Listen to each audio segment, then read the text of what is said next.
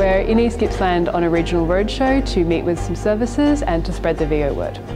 It's been a jam-packed day. We started the morning on regional ABC radio with an interview.